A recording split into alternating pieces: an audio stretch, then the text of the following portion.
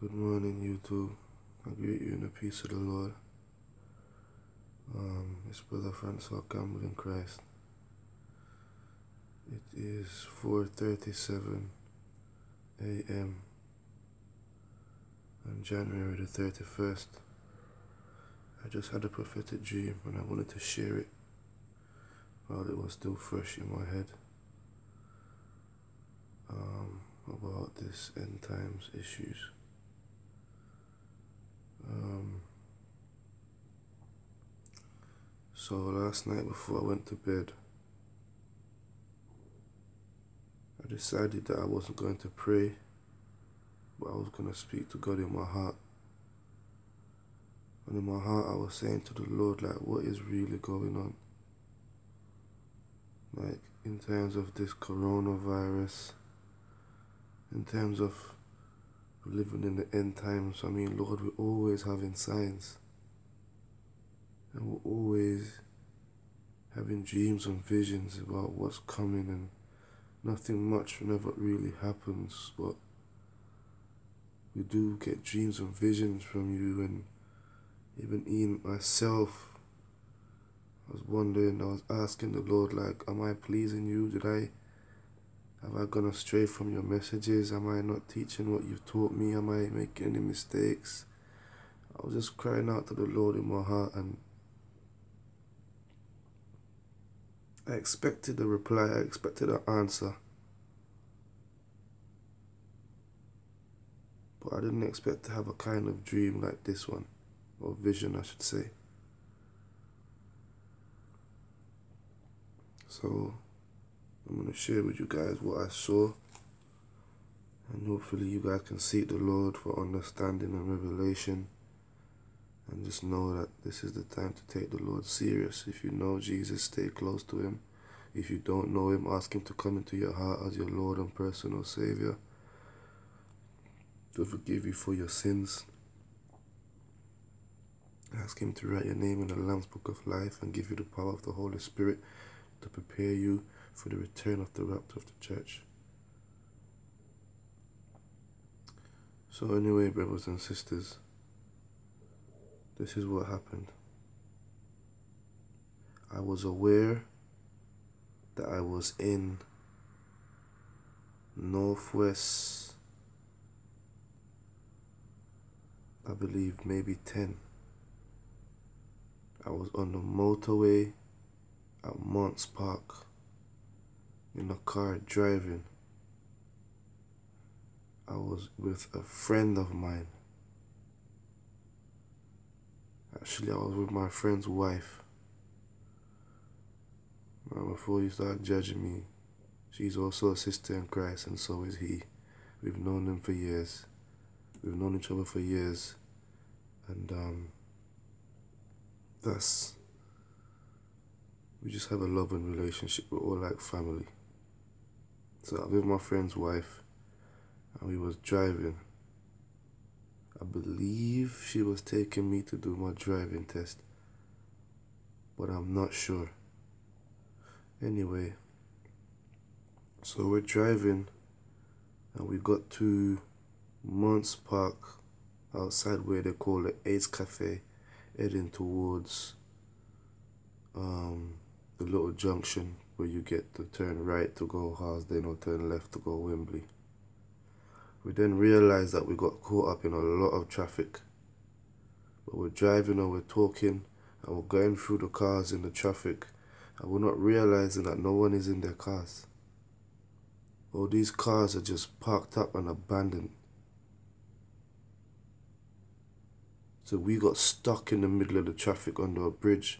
So whatever conversation we had changed to, oh, we should have stayed on the left hand side next to um, Stonebridge Park Station, or no, we should have went straight across. We should have turned off at um, Ace Cafe and went through Park Royal. And all this debate, debate, debate, we actually got stuck in the middle of the traffic underneath the bridge. And then we noticed that no one wasn't in their cars, and that's when we was like, wait, Something's wrong. I'm not saying that we missed the rapture. I'm not saying I don't believe that's what it was. I believe that something happened to cause everybody to make a big migration. And because of the amount of people traveling, the traffic got blocked up and people abandoned their cars. At first, I thought people abandoned their cars. I later got to realize that these cars wasn't even working. There was one and two cars working that I believed. I'm not sure how, but they was working because on the other side of the road, not going the opposite direction to us because everybody was going the same way. But on the other side of the road, there was a few cars that drove up, saw the traffic, made a U-turn, and others tried to force their way through, wouldn't work, and they made a U-turn. So anyway, we came out the car, we started walking, and for miles and miles and miles, we then realized that no one's in their cars, their car's broken. And how I knew the cars was broken because I said to her, like, we can't keep walking, this is too far. Okay? So I brought my way into a car. I was trying to hotwire it, the car is dead. Another car, car is dead. So it's like, this has changed. So we started walking anyway. We then got to a point where it became night. So we needed some kind of a shelter. So we made refuge in some kind of old abandoned building. Still couldn't find nobody anywhere except one or two people running around in panic in a hurry to try to get somewhere. Um, it became the next day, and for some reason, my sister was with us. So I was saying to them, Look, I'm hungry. If it's even a fried egg, I want something to eat. I remember where we left our car, well, my friend's car. There was a frying pan on the side of the road. If I can get an egg or something and start a fire, I'm frying an egg sandwich. And this I know something was off because my sister and my friend's wife was both telling me, no, it's too dangerous. Don't go out there. You might not make it back. This, that, that. And I'm saying, look, I got God, the Lord is with me. I can go anywhere, anytime. I will be fine. Mm, excuse me. So I decided I was going to go. Uh, I went, I made, I found a pot, I fried the egg. Then I went back because I wanted to tell them, like, told you I'll be okay. I got the egg. But I was like, oh, I left the egg. So I went back again to get the egg. I realized someone had eaten it. So anyway, I decided that to go back is going to take a while. So I'm going to take a shortcut. And for this, I was running. For some weird reason, I was actually running at the speed of motorbikes because that's what was moving. People on motorbikes and people on, on pedal bikes. And um, I got to a point where I was actually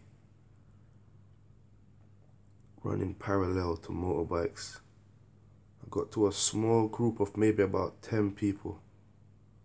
And this how I now knew again something was very off because the police, there was two police, there was a policewoman and a policeman, and they was actually congregating with criminals. Instead of chasing them to arrest them, it was like they was trying to survive together because of whatever had happened. This took a little of my time.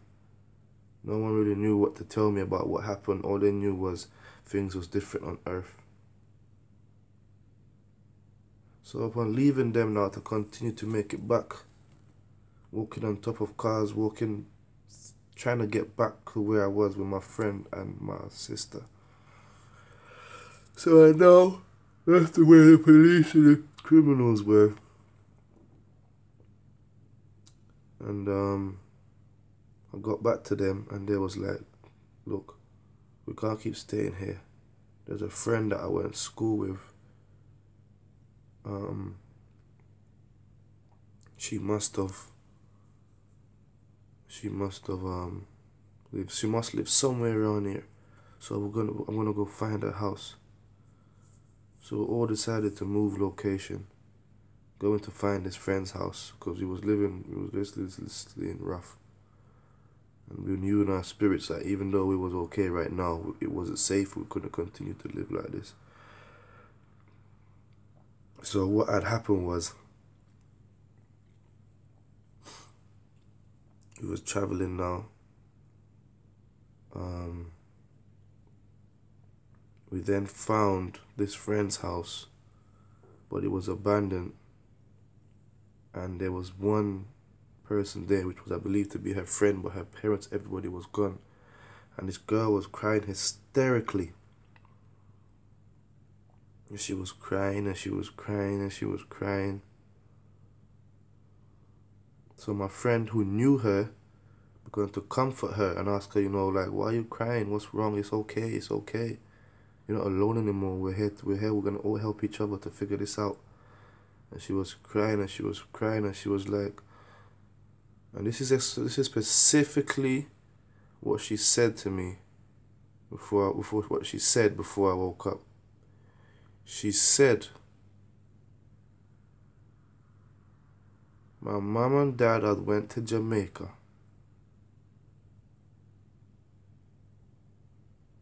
But because of social media, everybody's speaking about the coronavirus and having like a pandemic, like everybody was just panicking and just so worried and so scared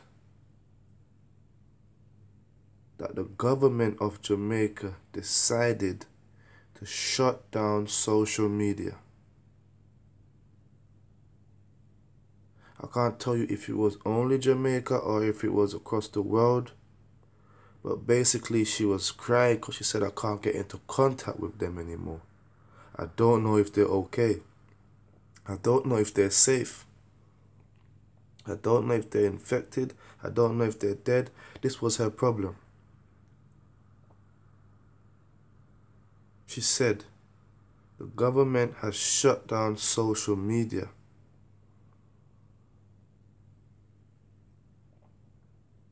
And it was at that point where in my spirit, in the dream, it was like, is this why everybody was migrating to one direction? Was we all heading to the airports? Why was my brain just flooded with oh my days. And then I woke up. That's what I saw, brothers and sisters in Christ. I'm not gonna add nothing more. I'm not subtracting anything. I'm just asking you to seek the Lord, to trust Him, ask for direction, you know. And I'm really hoping and praying that this isn't actually the times where the Bible talks about plagues, because there's plagues of locusts right now. There's famine here and there. Um, the Bible says a lot about a lot of things in terms of the end times. But you know, we've had hurricanes, we've had tornadoes, we've had floods, we've had a lot of things. But I'm beginning to wonder in my spirit if this is actually the time period where things get from so bad to worse, where every country is desolate. I mean, Jamaica used to be a land of God. Now it's a land of only the Creator gets acknowledgement. No one speaks about Jesus anymore. Um, it's predominantly Rastafarian, where Rastafarian didn't used to get no respect back in the day. I mean, I know if you see clubs in Jamaica, the way they party, but it's basically Sodom and Gomorrah. The music is about murder, killing, and sex. Um, there's a lot of link to Haitians, which is a voodoo island. Um, so I don't know, brothers and sisters. Let us pray for the Lord's protection over us and our families and our loved ones. And um, I will say this though. In that dream, it doesn't feel much far from where we are right now. Those of you know the coronavirus has only been out, what, like a month? Literally, it's the 31st of January now. It's literally been like a month. They said that it's been to Jamaica. The government is saying that it's not. So I believe it's a cover up. Because we've got a lot of Chinese in Jamaica who I believe probably went home to China for the Chinese New Year. When this outbreak happened on the quarantine, they rushed back to Jamaica in the Britain, Britain, where I'm where I'm living right now London. We we we have basically a, a Chinese nail shop on every strip, on every corner, and then the odd Chinese restaurant on every strip on every corner. Someone somewhere had to have gone back to China for the Chinese New Year, and I don't know. Sorry, because sirens. I live very close to a police station. Well, close enough that every time something happens, I can hear them. Brothers and sisters, seek the Lord. Please put your trust in Jesus Christ and have faith because the Bible says that 10,000 shall fall on the left and a thousand shall fall on the right, but it shall not come nigh us. So may God bless us and protect us and guide us in Jesus' mighty and precious name. Thank you for listening. Please share. If you have an understanding that I don't, please message me. I do remember maybe three, four years ago, I dreamt that I was in Wembley and all of the phones went off. There was like a frog popped up on the phone, a little green frog.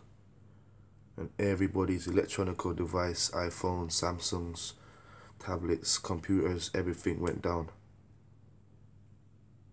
I mean, they control the satellites, so they do have power to do this.